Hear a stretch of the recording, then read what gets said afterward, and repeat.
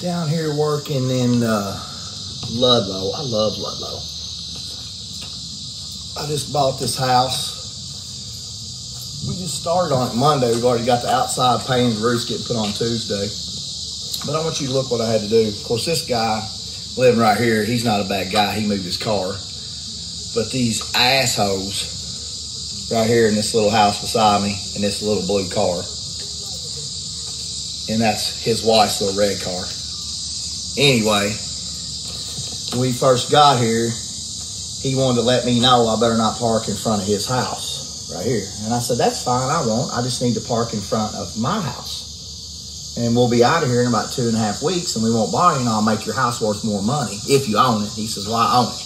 I said, Well, there you go. I just made your house worth more money because this house was in bad shape. But anyway, what does he do?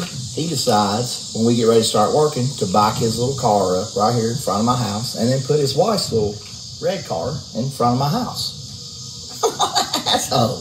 You know what I'm saying? So then I asked them if they move and they said no. So they don't know that I'm good friends with the chief of police in Ludlow who actually runs the city. so what did they do? They just posted up signs for me. And what did he do this morning? He just decided he was going to leave it here anyway. Didn't care. Well, guess what? You don't see him sitting there now, do you? Hmm?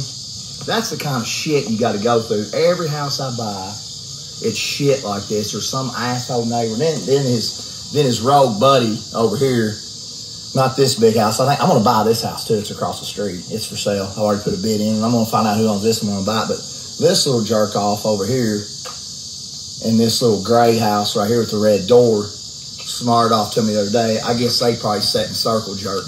This guy and that guy probably sat around on top of each other, 69 or whatever they do. I don't know what they do. But anyway, that's the kind of shit you got to deal with. You're down here trying to clean up all this shit for everybody. Of course, the city loves you. You're making them more money.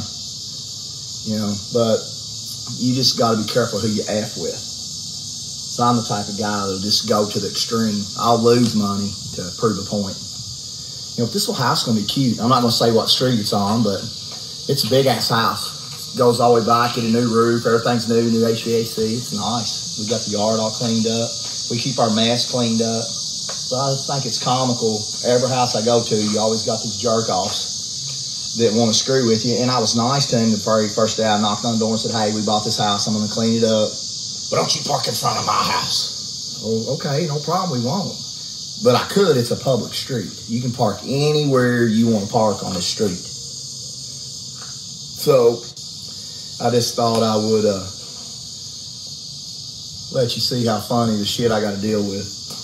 I bet when he goes to bed at night, now they can't park here, he thinks about me in my country accent. You know what? When I said, fuck you, huh? He'll remember that, won't he? Huh? Anyway, I just thought I'd give a little laugh today. If you can't, if you can't beat them, just fuck them. You know, that's this is gonna be a nice little house too. I have I have have about four or five on the street. This guy that was a real bad asshole too.